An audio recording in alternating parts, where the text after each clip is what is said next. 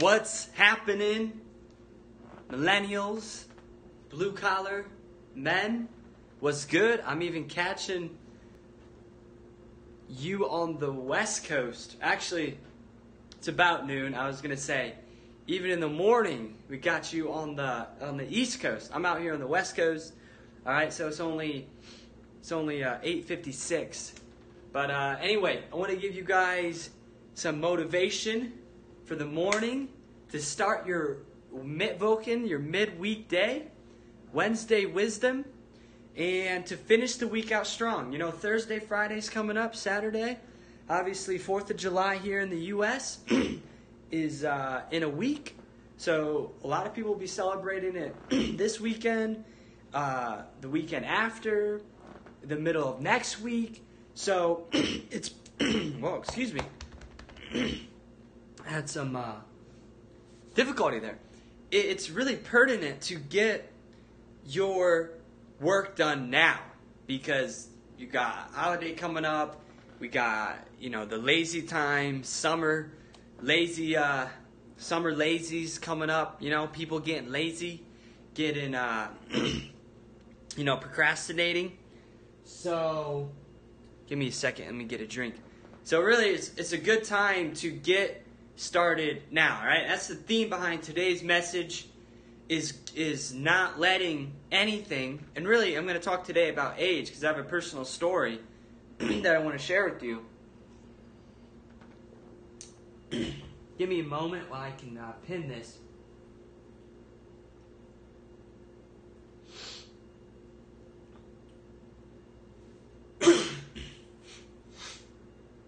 all right, we're set. Now we're talking. Now we're ready. All right. So, so I want to jump right into it. All right. Is is stop letting that number being your age prevent you from living your dreams, my friend. Stop letting that number hold you back. All right. This is a this came to my mind right through my head yesterday, and it's a really, really um, touchy topic. It's it's really relevant I think it, it, it hits home. It hits to the heart of probably most people. Uh, and I'm going to talk about millennial men and how this how this affects us, right? Blue collar workers, you know, men, you know, starting out, you know, at that point where they're stepping into their leadership shoes. You know, they're they're stepping up in their life, right? It's it's not easy to to grow up, right? You know, cliche. It's not easy to grow up you know, there's no rite of passage for for men in America, the United States of America. Like you now are a man. You're officially, you know, a full fledged, full functioning adult male man. There, there's no ritual. So it's it's tricky. You kind of know like how do we transgress, or I mean not transgress. How how, how do we transcend boyhood boyhood into manhood? How do we get to that that next step? You know, what's the what's the the process? So I want to kind of talk on that today. Um, let me share this around too. Give me a minute.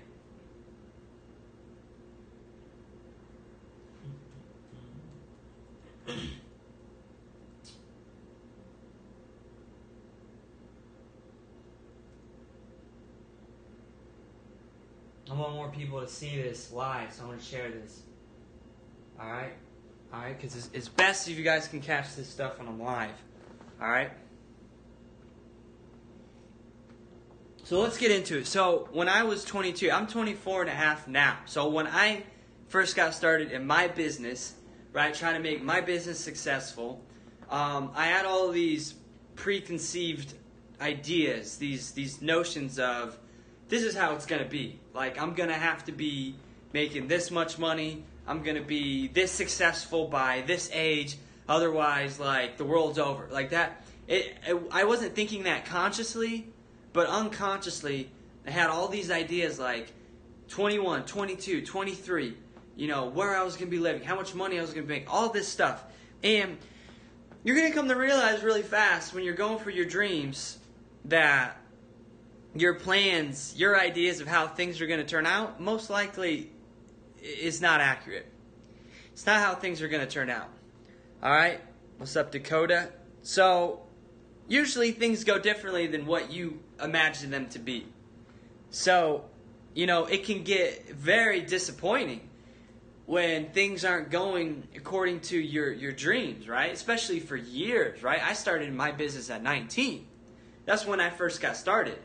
So, you know, for a long time, at least to my life at that point, two or three years of kind of doing something, being plugged in, and not being anywhere close, remotely close to where I wanted to be, which was working full time, making this amount of money per month, you know, working towards six figures.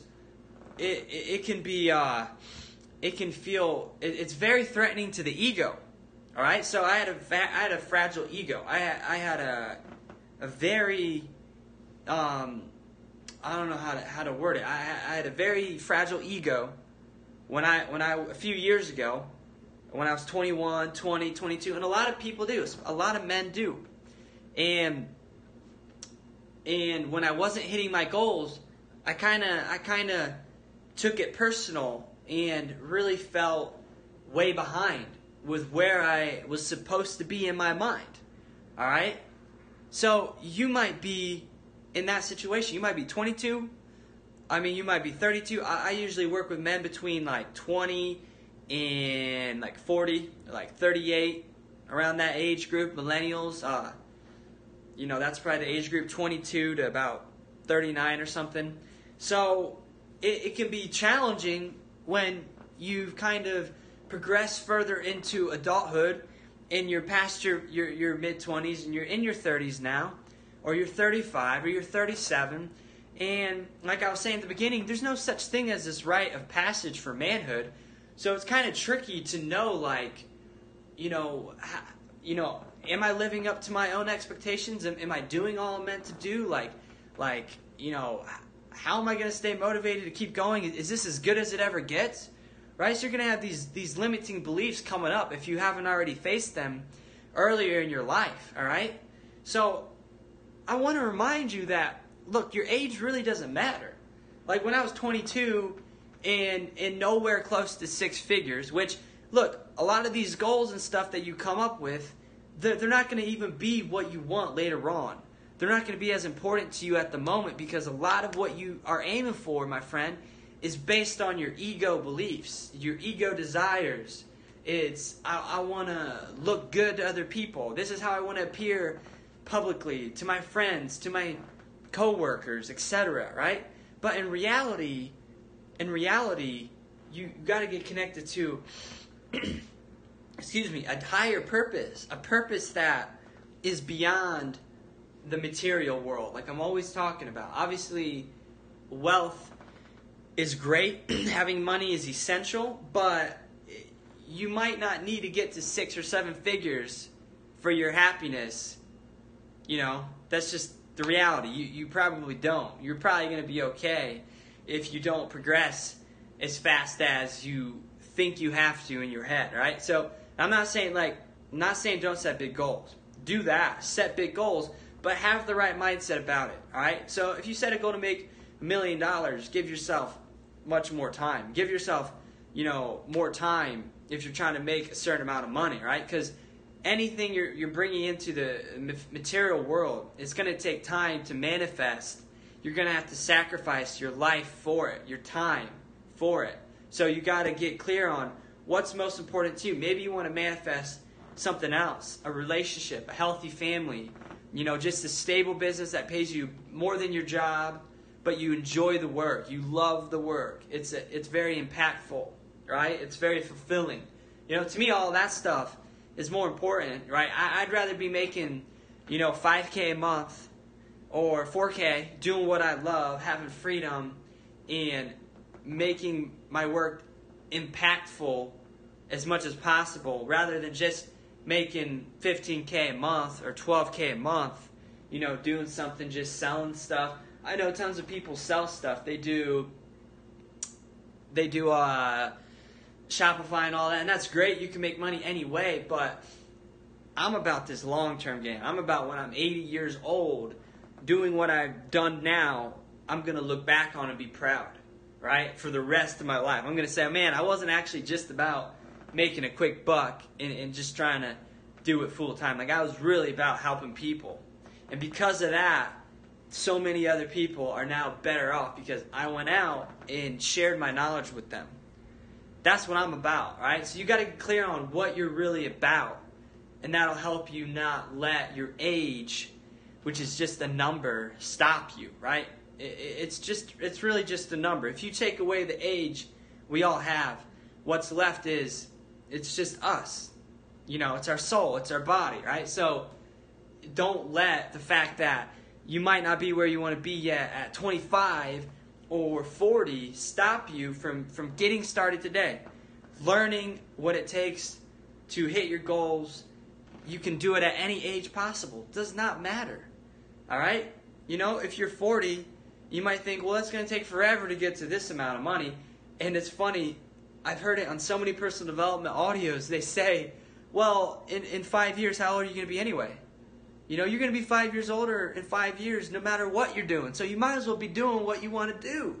Right? That's my point. That's my message today. You know, I, I was all caught up in I got to do this to look good. I got to make this amount of money. And in reality, I didn't need to make six figures at 22. I just need to make a couple grand a month.